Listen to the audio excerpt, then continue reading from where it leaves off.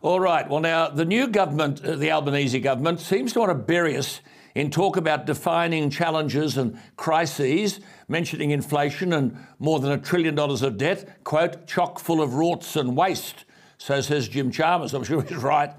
Today, the Reserve Bank has raised interest rates for only the second time in more than a decade, allegedly to counter rising inflation. Obviously, interest rates must go up. That was inevitable. But I don't think raising interest rates will do a lot to solve the current inflation problem.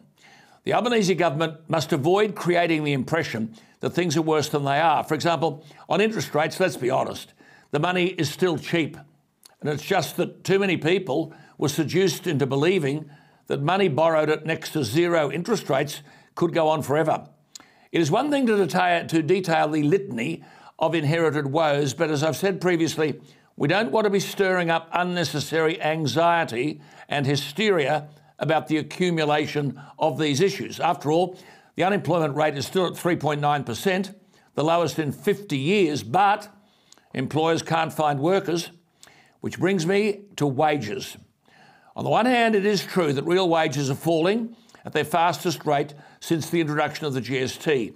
Real wages dropped 2.7% in the last year.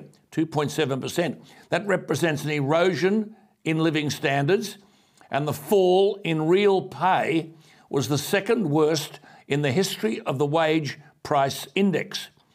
Tony Burke, the new Minister for Employment and Workplace Relations, has confirmed that the new government has put a fresh submission to the Fair Work Commission's annual minimum wage review, arguing, and I quote, high and rising inflation and weak wages growth are reducing real wages across the economy and creating cost of living pressures for low paid workers, unquote. Well, that no doubt is true. So, if the Commission acts on the government's suggestion, it will see a minimum wage rise of $1 an hour or roughly $40 a week. Employers have a week to lodge any objections to the submission, and a fair work decision is due in time for the start of the financial year, July 1. The new government says, most laudable in an ideal world, quote, we don't want anyone to go backwards, unquote.